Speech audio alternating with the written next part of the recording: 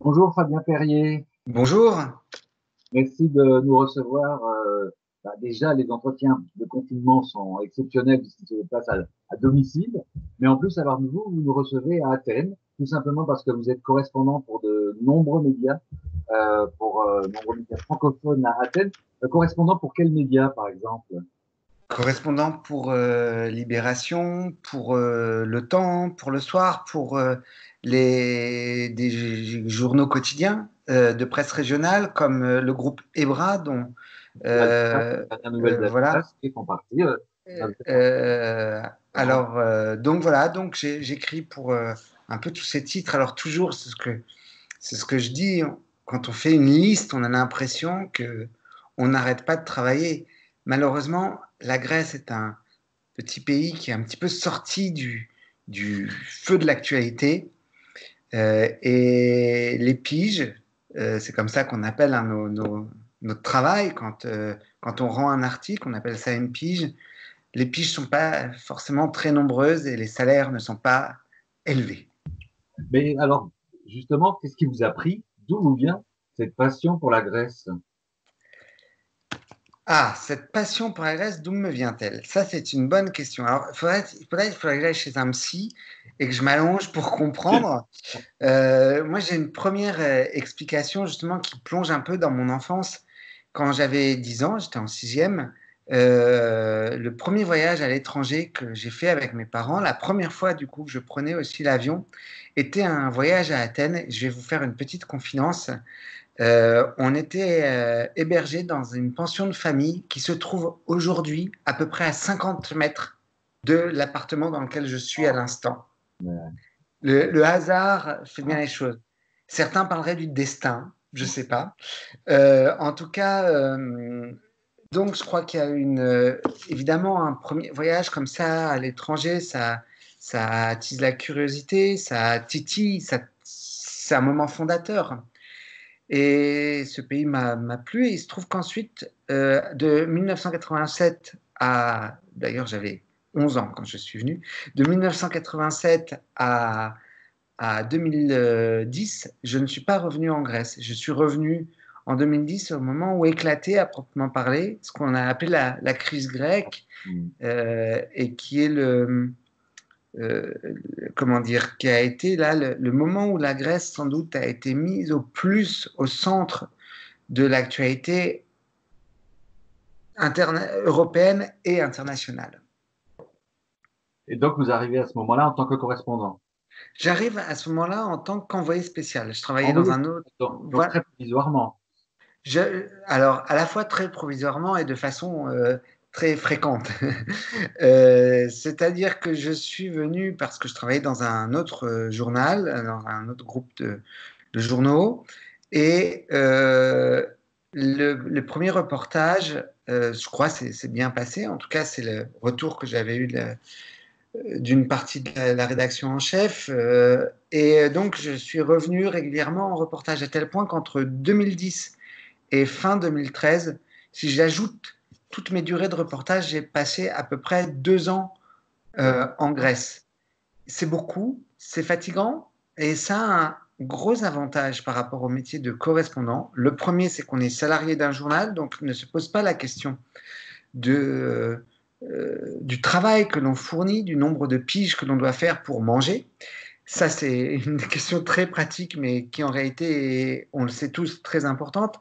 Et le deuxième avantage, c'est que ces allers-retours nous obligent à avoir une distance permanente avec le pays sur lequel on travaille et du coup de le prendre aussi dans une plus grande globalité.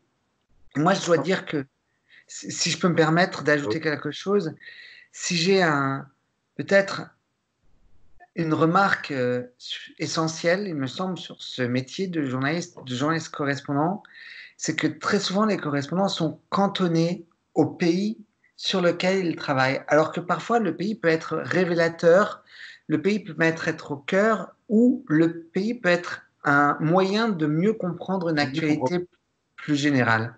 Ben, c'est exactement ce qui va être le cœur, je crois, de notre entretien, parce que vous parlez de 2010, 2010, donc euh, la crise, euh, apparaît petit à petit euh, donc les, les, les partis traditionnels semblent englués dans leur crise, on parle beaucoup de corruption, euh, et apparaît petit à petit un, un, conglomérat, un, conglomérat, des forces de gauche avec une voix nouvelle, ce conglomérat qui est qu'on appelle Syriza, euh, un nom euh, générique, et apparaît une voix nouvelle euh, qui va arriver au pouvoir en 2015, Alexis Tsipras. Vous lui consacrez, vous venez de publier un, un livre vous pouvez nous montrer peut-être. Je, vais, je peux vous le montrer. Je peux vous le montrer en français. Alors, je voilà. sais pas si la distance est bonne. Et je peux même, malgré tout, vous le montrer en grec. Formidable. Parce qu'on reviendra. Alors là, je, c est, c est, je, me mets entre guillemets entre les deux. mais euh, peut-être on reviendra mais, sur cette question, mais la, la couverture n'est pas la même. Et je trouve que c'est intéressant euh, d'évoquer ça un peu plus tard. Alors Alexis Tsipras, euh, une histoire grecque, on va prendre les deux morceaux de votre titre. Euh, qui est qui est ce très rapidement hein, qui est Tsipras? Est-ce que comme nous on a, on a eu le sentiment qu'il est sorti de nulle part et qu'il incarnait une nouvelle une nouvelle façon de faire de la politique en Grèce? Il y a beaucoup de choses dans cette question oui. qui sont en plus des choses qui me tiennent à cœur. Donc il faut pas hésiter à me couper parce que je peux parler je très, très longtemps. Euh, la première chose, c'est euh, Alex Tsipras, qui est-il plus exactement, pour moi, la première question, c'est Alex Tsipras est-il sorti de nulle part? Je pense que Alex Tsipras est un personnage qui, à un moment historique, a rencontré le peuple grec. Euh, en réalité, Alex Tsipras est presque un peu ce qui est arrivé à Emmanuel Macron en France? Moi, je, me, je doute de la pertinence de cette comparaison. D'accord. Euh, mais c'est une bonne transition avec ce que j'allais dire parce que je doute de la pertinence de cette comparaison parce que, euh, d'une part, Alexis Tsipras est né à un moment charnière, à un moment clé, qui est la fin de la dictature des colonels. Il est né en 1974, en juillet 1974, quatre jours après la chute de la dictature des colonels qui avait régné dans le pays pendant sept, sept années. Euh, donc, j'ai envie de dire, pour un, journaliste qui, cherche toujours des histoires à raconter, mais des histoires importantes, révélatrices, il est un peu un fil conducteur qui s'impose. Hein. Il raconte un moment de l'histoire de son pays. La deuxième chose, c'est que Alexis Tsipras euh, fait ses classes dans le Parti communiste grec ou dans ce qui était du Parti communiste grec, qui a été un parti très longtemps interdit. Euh, et ça, c'est une très grande différence avec Emmanuel Macron. Il y en a un qui a fait ses classes en politique, il y a l'autre qui a fait ses classes euh, à Sciences Po. Je, je n'ai rien contre cette école, hein, je, ce n'est pas une critique aux grandes écoles. Qui a fait ensuite ses classes euh, à l'ENA et qui ensuite a décidé d'aller faire un temps dans la finance. Euh, donc, donc, les... donc, Tsipras est, un, un, pur produit de la politique, un pur produit politique. Non seulement un pur produit de la politique, mais en plus un pur produit de l'histoire nationale. C'est un élément extrêmement important parce que là, c'est encore une différence avec Emmanuel Macron qui, lui, a étudié et a vécu euh, à l'étranger, à Londres, si mes souvenirs sont, sont bons. Euh, mais euh, c'est aussi une différence par rapport aux autres premiers ministres grecs. Alexis Tsipras est le premier premier ministre qui arrive euh, à la tête de ce gouvernement en n'ayant pas été formé à l'étranger, comme l'a été par exemple le Premier ministre actuel Kyriakos Mitsotakis, comme l'a été le prédécesseur, un des prédécesseurs Yorgos Papandreou du PASOK, le Parti social-démocrate, social-libéral grec. Donc en fait, il incarne à la fois une histoire grecque dans son mode de formation, une histoire grecque dans son euh, rôle dans les partis politiques. Hein, il, euh, est quelqu'un qui a été qui a fait partie de ce qu'on a appelé le parti de l'intérieur, c'est-à-dire que celui qui le parti communiste qui ne euh, répondait pas aux ordres de Moscou, qui avait sa doctrine propre. Et euh, je crois que ça, ça fait un personnage qui, à un moment, a rencontré, comme je disais, son peuple, parce que le contexte était extrêmement important. Et là, j'en viens à l'autre partie de votre question sur la crise grecque. C'est-à-dire que on est en 2015 quand Alexis Tsipras devient le Premier ministre, mais ça fait pratiquement une dizaine d'années qu'il s'impose peu à peu dans la vie politique nationale. Est-ce qu'il s'impose alors par défaut? Parce que toutes les autres, tous les autres partis ou têtes d'affiche ont perdu toute crédibilité? Ou est-ce qu'il s'impose porté par une ambition personnelle très forte? Euh, Messianique, presque messianique. Si je voulais être un peu ironique, je raconterai une anecdote, une blague que m'a faite un jour un ami euh, comédien grec il m'a dit, tu sais Fabien, sur, peuple, sur Terre, il y a deux peuples élus. Il y a le peuple juif et il y a le peuple grec. Alors ça répondrait un petit peu à cette euh, euh, idée de messianisme. J'ai du mal personnellement à y croire. D'ailleurs, comme j'ai dit, c'était une, plaisanterie euh, qui venait d'un homme de culture. Mais comme toutes les plaisanteries, elle a peut-être un petit fond à, méditer. peut-être la réponse la plus la plus précise que je pourrais donner, c'est que le sentiment que j'ai pour avoir parlé avec de nombreuses personnes de l'entourage avec Tsipras, mais aussi pour avoir parlé beaucoup entre 2010 et 2015 avec Alexis Tsipras, c'est que euh, je crois qu'il n'était pas un homme, en tout cas en 2010, qui pensait, qui imaginait qu'il allait être un jour Premier ministre. Mais comme l'appétit vient en mangeant, Peut-être le désir vient en avançant. Et de nouveau, on en est à cette question de circonstances, c'est-à-dire qu'en en 2010, la crise grecque fait surgir euh, l'actualité de ce pays, mais en même temps, ça faisait deux ans au moins que toute l'Union européenne et le monde même tremblaient d'une crise économique et financière.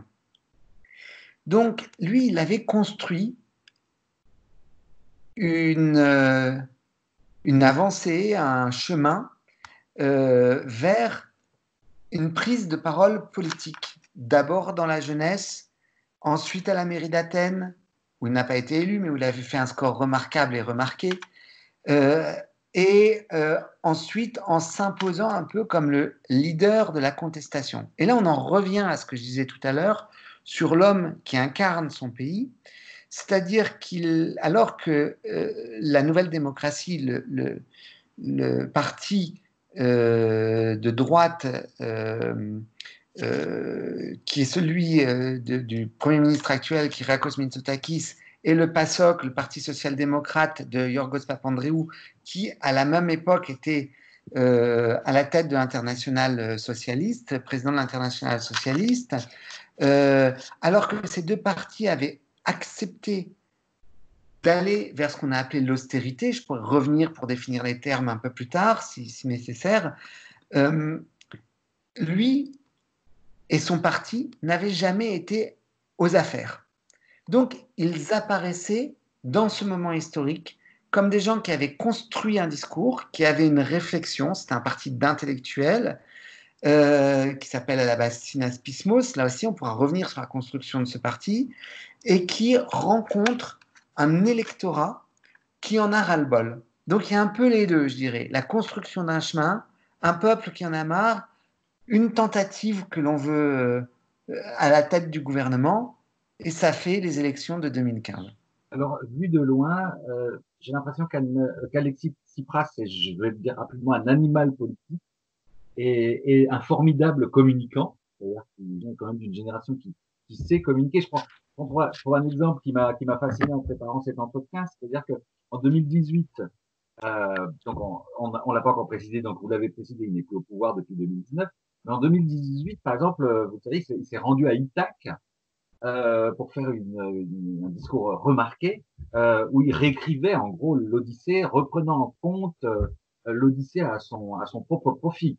Voilà, en utilisant les symboles forts de, l'histoire, du mythe grec. Alors, est-ce que c'est un véritable animal de communication? C'est intéressant que vous preniez ce discours d'Itaque parce que, à la fois, je trouve que c'est euh, une finesse de sa part que d'avoir utilisé le discours d'Itaque parce que le discours d'Itaque était lui-même euh, utilisé en 2010, en mai 2010 ou avril 2010, fin avril 2010, par Yorgos Papandreou lorsqu'il a annoncé au peuple grec qu'il allait euh, faire appel au Fonds monétaire international et aux institutions européennes pour résoudre la crise grecque.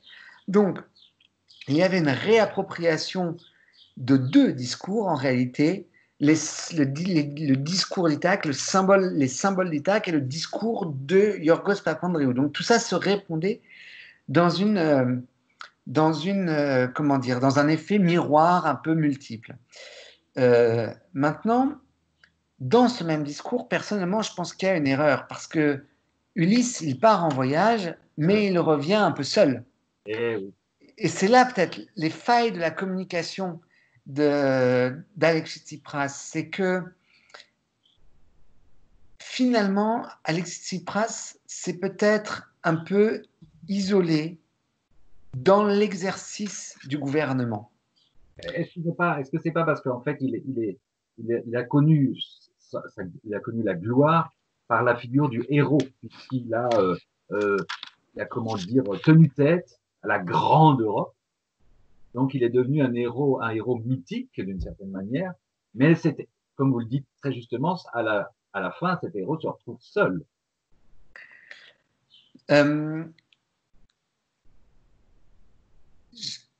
j'ai le sentiment, je n'ai jamais posé cette question à, à Tsipras, mais j'ai le sentiment que si on lui demandait est-ce que vous, vous, avez le, prenez pour un héros ou est-ce que euh, vous avez eu l'impression d'être perçu comme un, comme un héros, il nierait. Quelle est une forme de goût du risque? C'est même le titre du chapitre 16. Euh, qu'il ait mené des batailles, euh, je vais citer de nouveau euh, quelques chapitres, hein, de, des titres de chapitres du livre. Chapitre 10, à la conquête de l'Union européenne. Chapitre 11, la prise de Maximou. chapitre 12, la bataille de Bruxelles. Mais, chapitre 13, c'est vous, c'est vous qui utilisez le. C'est moi qui utilise. Hein, voilà. voilà, non, non, mais justement, c'est pour ça. Oui. Le chapitre 13 est Et Bruxelles prit Athènes. Donc, est-ce que un héros, déjà, existe aujourd'hui réellement en politique? Est-ce que la notion de héros a encore du sens en politique, quel que soit le pays?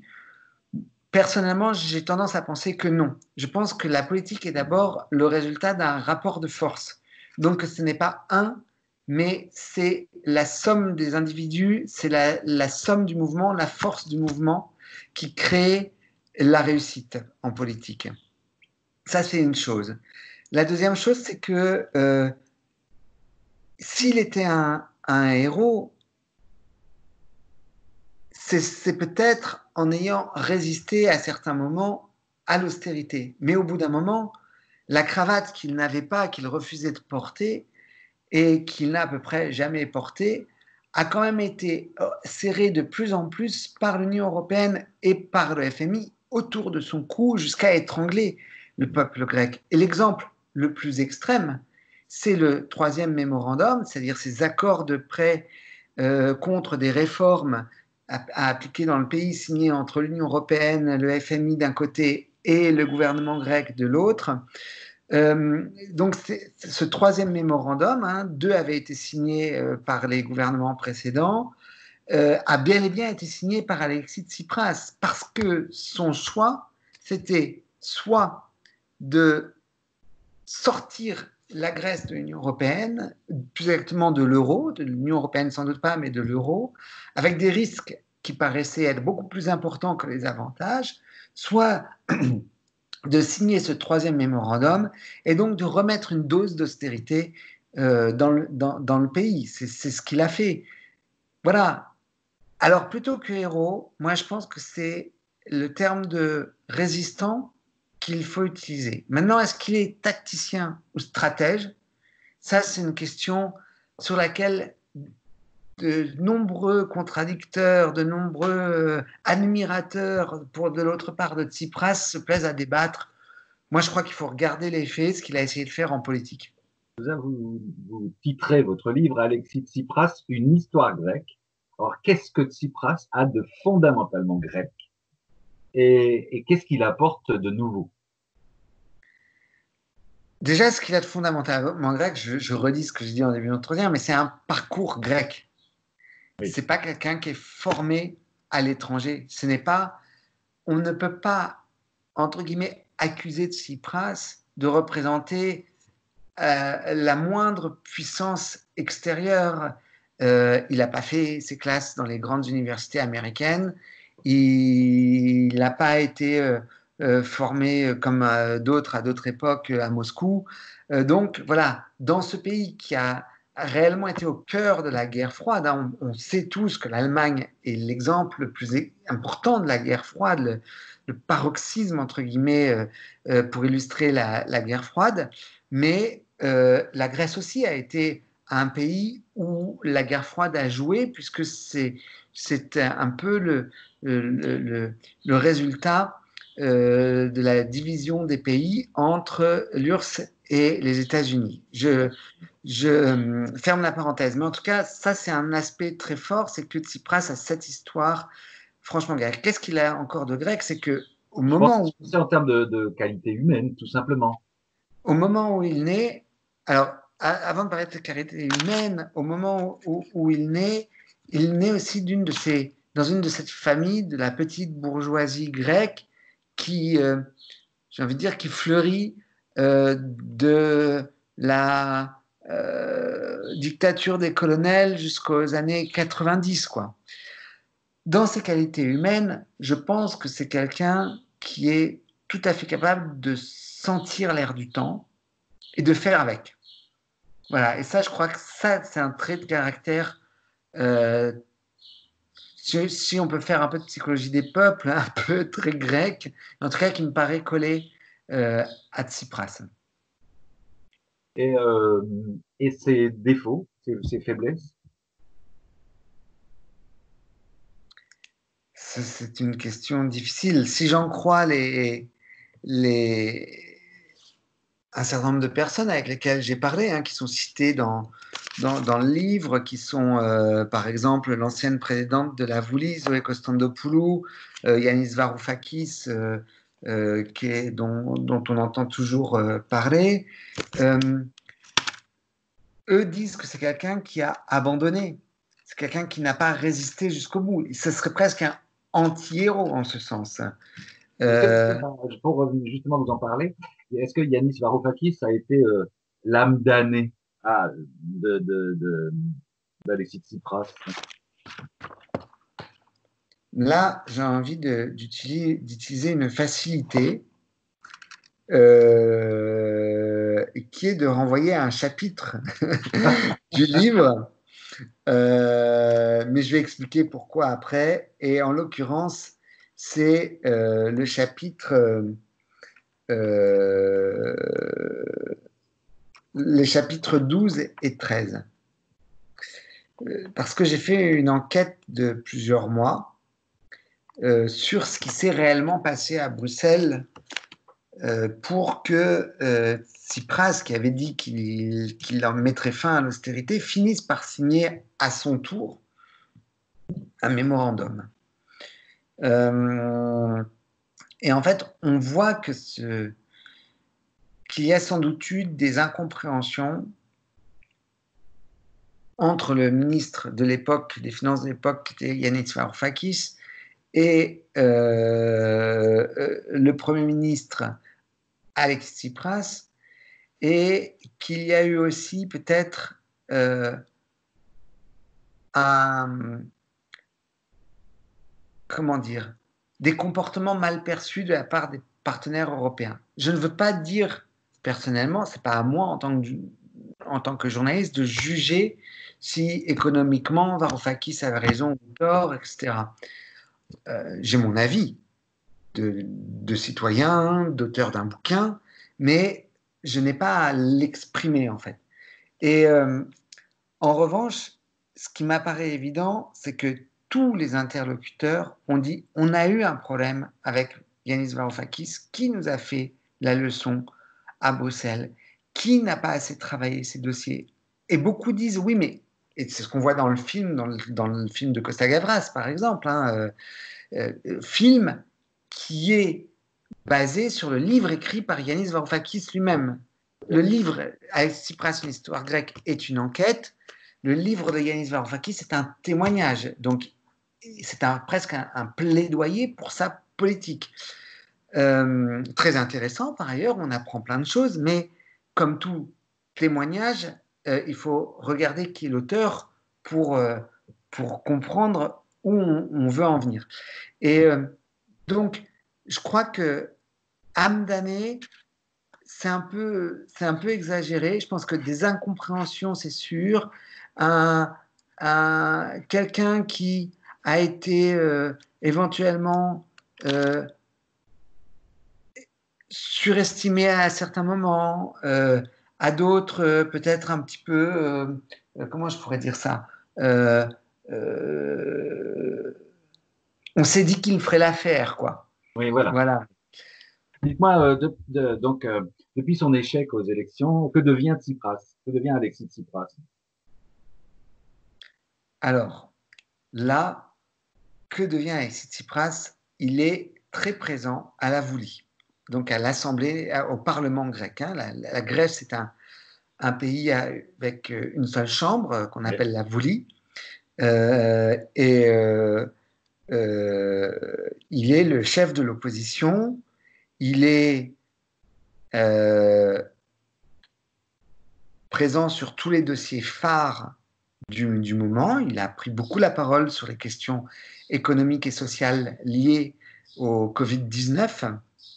Euh, qui, oh, on va y arriver, oui. Qui, qui, qui, a frappé la Grèce aussi. Euh, donc ça, c'est la première chose. Il est très présent dans son pays. La deuxième chose, c'est que, on y reviendra aussi sans doute, mais on a une rumeur aujourd'hui en Grèce qui est que le gouvernement préparait des, des, élections euh, et du coup, ça veut dire que l'opposition doit se préparer à d'éventuelles élections. Donc, je crois qu'il est en train de faire une politique de renforcement de sa présence, du coup, sur la scène européenne et internationale. On l'a vu se rendre en France euh, à plusieurs reprises dernièrement, hein, en novembre, euh, en janvier. Il a rencontré systématiquement l'ancien président de la République, François Hollande. Et ça, ça indique aussi euh, ce que ce qu'Alexis Tsipras est en comment dire, tente de faire actuellement. Je crois qu'il est convaincu que Syriza seul ne peut pas remporter les élections en Grèce et que une gauche issue d'une gauche radicale seul dans un petit pays comme la Grèce ne peut pas arriver à changer quoi que ce soit dans l'Union européenne. Donc il est en train d'essayer de rebâtir. il a déjà un cabinet fantôme? Il a déjà un cabinet fantôme. Ah bah. Avec d'anciens avec d'anciens ministres hein, euh, euh, dedans. Je pense que c'est de, notoriété publique que euh, les, ministres qui ont pu s'occuper des affaires européennes ou des affaires internationales continuent de travailler de près avec Alexis Tsipras. Euh, je pense que sur l'économie ou les questions sociales, on le voit notamment à la Voulie, une ministre comme une ancienne ministre pardon comme Effie Arthurlou continue d'être très présente et il travaille très fortement. Mais il y a aussi, je redis, une tentative d'élaborer un rapport de force en Europe parce qu'il y a une peur qui était peut-être à la base une peur très grecque, mais que nous devons tous, en tant qu'Européens, avoir en tête. Il ne faut pas oublier que cette austérité en Grèce, cette crise économique, sociale, politique, démocratique, euh, a fait monter un tout petit parti, un groupuscule à la base qui s'appelle Obdoré, un parti euh, ben néo-nazi, qui est passé de moins de 1% à 7%. Et qui a été longtemps euh, le troisième groupe à la Voulie. Euh, ce petit parti, il, je le redis, c'est un parti néo-nazi. Ce n'est même pas une extrême droite classique, ah si je peux m'exprimer ainsi. Euh, et, et, donc, je crois qu'il y a cette peur très fortement euh, ancrée dans la gauche grecque de voir euh, une extrême droite ressurgir partout en Europe. Et donc, en réaction, une tentative de, d'alerter et de fédérer plus largement à gauche sur une base programmatique en réalité, euh, peut-être pas radicale, mais en tout cas une base avec un objectif qui est quand même, pour ainsi dire, d'une forme de transformation sociale. Vous avez lâché évidemment le, mot d'actualité, le Covid-19. Alors, c'est vrai qu'on ne comprend pas. Ici, en France, on ne comprend pas. Voilà, voilà ce pays, la Grèce, qui est depuis des années dans une crise économique majeure qui connaît une première crise sanitaire majeure avec les migrants, avec cette injection paradoxale de l'Europe qui nous dit euh, pour vos finances, vous faites le ménage tout seul, vous vous, en débrouillez, et puis pour les, pour les migrants, vous faites tout tout seul, euh, on, vous regarde de loin. Voilà. Euh, donc, crise économique, première crise sanitaire, en voilà une troisième, le Covid, et pourtant, vu de loin, c'est-à-dire qu'on n'en parle pas de la situation grecque. Alors on parle d'Italie, de l'Espagne, euh, de tous les pays euh, du Royaume-Uni, et on ne parle pas de la Grèce, qui veut dire a priori que tout va bien. Comment ce pays, encore une fois, pour utiliser un terme que vous utilisez, résiste? Qu'est-ce qui se passe? Bah, de nouveau, je vais, je vais répondre d'abord par une petite pirouette, genre un journaliste par un journaliste, mais on sait bien que malheureusement, euh, l'actualité intéresse d'abord quand il y a une crise, quand les choses vont pas. Donc quand ça va bien, on a moins tendance à en parler. Et pourtant, vous avez complètement raison. C'est incroyable de voir que ce petit pays euh, s'en sort plutôt bien. Il y a 145 morts euh, en Grèce pour une population de 10,8 millions d'habitants. Ça fait 14 morts pour un million d'habitants, c'est vraiment, entre guillemets, peu par rapport à la plupart des pays européens. Donc là-dessus, euh, on est d'accord. Maintenant, euh, c'est une situation qui doit nous inviter à réfléchir tous. la première chose, c'est que si la Grèce s'en sort bien, c'est parce qu'elle est aussi moins insérée dans la mondialisation que la plupart des pays d'Europe de l'Ouest. Je vais citer un exemple. Le premier pays dans lequel cette épidémie a déferlé, en tout cas c'est ce qu'on pense aujourd'hui, hein, peut-être que les choses vont être revues hein, avec quelques temps de, décalage, mais c'est l'Italie, avec la semaine de la mode, le nord de l'Italie. Ensuite, c'est la France, avec euh, notamment, vous le savez bien mieux que moi, le, le rassemblement à Mulhouse. Dis qu'à Mulhouse, oui. Exactement. Euh, et aussi l'Espagne, avec un autre rassemblement le 8 mars. Bref, les autorités gouvernementales, médicales, en Grèce ont réagi complètement différemment. Comme le l'hôpital public est dans une situation dégradée après dix années d'austérité. Hein, euh, les budgets ont considérablement diminué, le nombre de lits euh, euh, aussi complètement diminué. Il y a 500, il y a moins de 600 lits en soins intensifs pour un pays de 10 millions d'habitants, de 11 millions presque d'habitants. Donc les autorités médicales ont dit ce n'est pas possible que nous soyons nous aussi débordés. Donc elles avaient l'exemple italien, elles avaient l'exemple français, elles ont fait le contraire. C'est-à-dire qu'elles ont tout de suite recommandé à la population de rester chez elle le plus possible, d'effectuer les, les, comment, les gestes barrières. Euh, et dans le même temps, elles ont fermé les écoles d'abord, puis les bars, les restaurants. Personne n'est allé dire aux Grecs continuez à sortir, continuez d'aller au théâtre, continuez d'aller au, cinéma, vous ne risquez rien. Et même le Premier ministre, ancien Premier ministre Alexis Tsipras, a appelé le Premier ministre Kyriakos Mitsotakis pour lui dire euh, vous, tu ou vous, je ne sais pas s'il se tutoie ou se, ou se vous voit, mais euh, si vous, tu prends les mesures qui s'imposent, nous soutiendrons le confinement.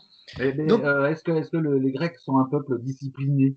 Quand on imagine euh, le, le, fantasme, le stéréotype habituel de dire ah ben oui, on, on, recommande aux Allemands, ils vont le faire, mais on recommande aux Grecs, ils ne vont pas le faire, ils vont rester dehors dans les bars et tout. Euh.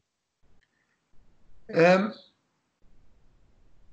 de nouveau, le, le, tissu médical est détruit et tout le monde en a conscience. D'accord. Mmh. L'effet de dix années d'austérité, tout le monde le vit dans sa chair. Il ne faut pas oublier que le chômage en Grèce, en 2013, a atteint presque 28%. C'est-à-dire que quasiment un grec sur trois était, un grec actif sur trois était au chômage et que la pauvreté était elle aussi explosive à près de 35% de la population. Donc, on le voit dans la rue, euh, on le sait en se rendant dans les centres de médecine, on le vit dans son quotidien, cette, cette dégradation de la, du niveau de vie, de la vie, j'ai envie de dire. Alors, euh, donc, on fait très attention on respecte, et il faut ajouter un, un point, c'est que, euh, un, Kyriakos Mitsotakis a été élu avec près de 40% des voix, et Tsipras a perdu ses élections avec près, près de 34% des voix. Bref, euh, la force du parti majoritaire et du parti d'opposition, quel qu'il soit, est bien plus importante que ce qu'avait un président qui en plus a multiplié, un président français qui en plus a multiplié les injonctions contradictoires, euh, donc est bien plus importante que que ce qu'avait le président français. Donc évidemment, on suit ensuite plus aisément ce que nous disent nos dirigeants quand on, leur fait confiance. Alors, mon, mot, ma, phrase va être terrible, mais euh, on va dire un mot sur les migrants, alors que c'est un, problème fondamental mais tout à coup, le problème des migrants n'existe plus. Puisqu'on quelque chose dont on ne parle pas n'existe pas, et donc euh, c'est fini. Ils ne sont plus à Lesbos, ils, n'affluent plus sur les îles, les plages grecques. Euh, et vous, quand voilà, quel est votre regard là-dessus? Euh, Justement, dans, le livre euh, euh, Alex Tsipras, une histoire grecque, je j'explique dans le chapitre 13, euh, qui s'appelle gouverner, 14, pardon, gouverner sous tutelle, j'explique l'accord de mars 2016.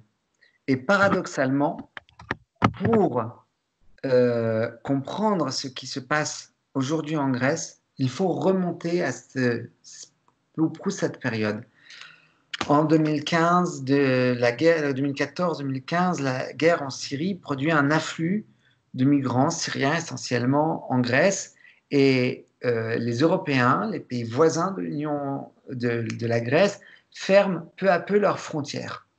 Donc les migrants se retrouvent piégés en, grec, en Grèce. Mais eux n'ont pas l'intention de rester en Grèce. Oui. Eux, ils veulent passer en Europe du Nord. Souvent, ils veulent aller en Allemagne, en Suède en Grande-Bretagne. C'est les trois pays principaux vers lesquels ils veulent se rendre. Les pays qui les font rêver, entre guillemets. À un moment, ça ne sera plus possible, notamment quand la Hongrie ferme ses frontières. Voilà. Donc, l'Union européenne va négocier avec la Turquie un accord qui demande, qui confie aux Turcs la gestion de nos frontières extérieures et qui demande aux Turcs donc de euh, garder sur son territoire les migrants qui arriveraient. Les migrants sont ainsi bloqués en Turquie et ne peuvent pas euh, euh, passer en Grèce, sauf qu'en réalité, on voit que le gouvernement turc régulièrement réouvre ouvre les vannes. Bon.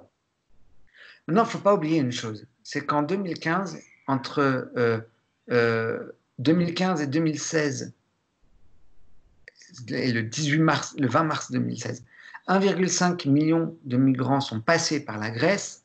On n'a pas eu une invasion dans cet ensemble européen qui fait 425 millions d'habitants. Hein. Euh, donc ça, c'est la première chose. Aujourd'hui, les statistiques ne sont pas tout à fait les mêmes. Il y a 60 000 migrants à peu près bloqués en Grèce. D'accord. C'est pas, de nouveau, c'est pas une invasion. C'est pas ingérable. Ce n'est pas ingérable. Mais c'est difficile à gérer pour un petit pays comme la Grèce qui a de nouveau subi dix années d'austérité. Donc, cette question, on en parle peu, plus, malgré tout, il y a à peu près, sur ces, 65 000 euh, migrants bloqués en, Grèce, 40 euh, 000 migrants bloqués sur les îles, notamment sur l'île de Lesbos, vraiment à quelques une dizaine de kilomètres euh, par la mer de la Turquie. Et sur cette île, il y a donc à peu près 20 000 migrants bloqués pour une capacité d'accueil sur le camp euh, où sont parqués, par, pardonnez-moi l'expression, mais c'est le cas, les migrants, 3500 places. 7 fois plus. 7 fois plus. Voilà. Donc, c'est une situation catastrophique. Catastrophique. Catastrophique. J'ai plus les statistiques exactes, mais de mémoire, c'est un toilette pour 150 euh, euh, personnes, une douche pour 200 personnes. Autant dire que euh, si, par exemple, le Covid arrive dans cette... Euh, euh, dans ces camps, c'est une hécatombe annoncée. Alors, on va finir sur une note un peu plus légère. on va parler un tout petit peu culture. ça fait déjà une heure qu'on parle. bientôt. Je n'ai pas vu le temps passer. Eh ben, euh, Aviez-vous, euh, auriez-vous, euh, enfin je sais parce que je vais demander un conseil de lecture à un auteur, un romancier grec euh, que vous aimez, traduit en français bien sûr?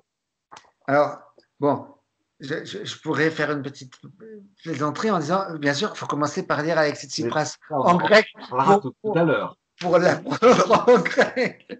Mais non. de romancier. Oui, oui, oui, je, je plaisante, mais euh, je pense que s'impose, pour qui veut comprendre, euh, capter l'air du temps en Grèce, un auteur euh, qui est Petros Markaris.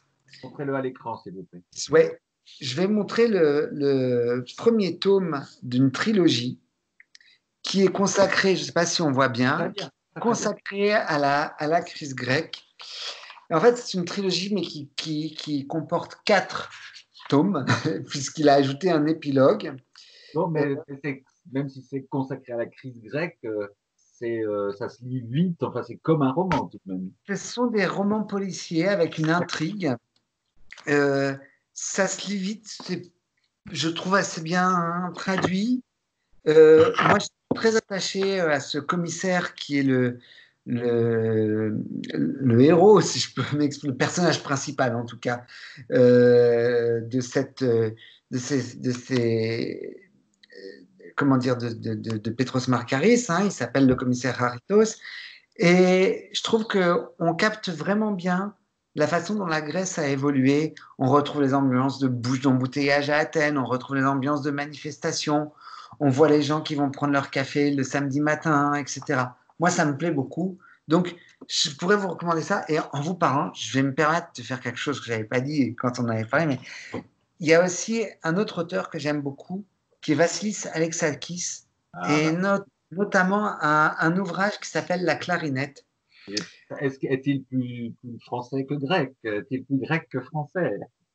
Mais peut-être c'est ça qui est aussi très intéressant, parce que avec son regard de français devenu de grec, voilà, de grec devenu français, euh, il est lui-même ce qu'il décrit souvent dans ses livres un, un pont entre les cultures.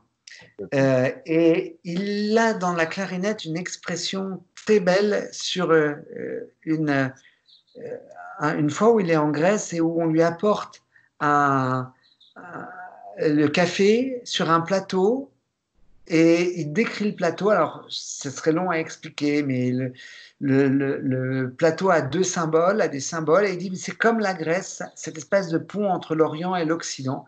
Et je trouve que c'est euh, très, très intéressant, une écriture plus poétique que Marc Harris, mais très intéressant aussi. À mon tour de vous faire une proposition de lecture. Je crois que vous ne connaissez pas cet auteur. Euh, ça vient d'être traduit en France, donc euh, Yanis Palavos aux éditions Kidam. Euh, donc ce sont des nouvelles où le, sordide le dispute au fantastique. Et j'aimerais bien que vous le lisiez parce que du coup, moi, j'ai l'impression que ça raconte, que ça dit énormément de la Grèce. Pour moi, c'est un petit peu le pendant grec. Je ne sais pas si vous connaissez Patricia Highsmith. Euh, et donc, je, je, retrouvais Patricia Highsmith en Grèce avec des, des, des, des, des nouvelles. J'ai quelques exemples. Il y a c'est un tueur de porc, par exemple, qui traque pour un bébé truie ou une bébé truie.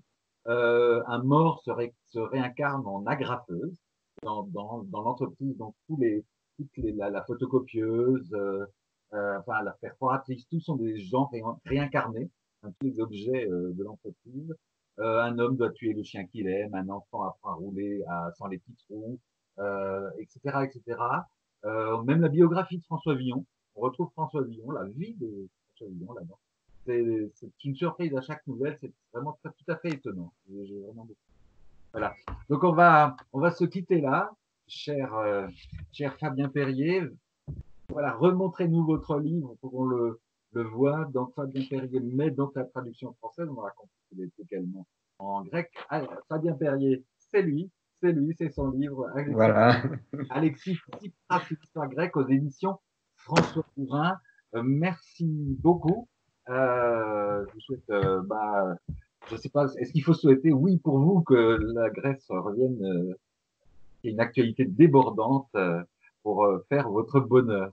À mon avis, il y en aura une parce qu'on est dans un pays, comme j'ai dit à plusieurs reprises, qui sort de dix années d'austérité et qui sort de, comme nombre de pays européens, d'une période de confinement qui a euh, rasé euh, un pan complet de l'activité économique qui est le tourisme. 20% du PIB du, de l'économie grecque repose sur le tourisme. Et le, le tourisme est à l'arrêt depuis le début de la, la période touristique. Cet été risque d'être terrible. Cet été risque d'être terrible et plus encore l'automne et l'hiver pour plein de raisons dont j'espère nous aurons l'occasion de discuter peut-être de visu quand les, quand les festivals reprendront. Merci beaucoup. À très bientôt, Fabien Paris. Merci. Au revoir.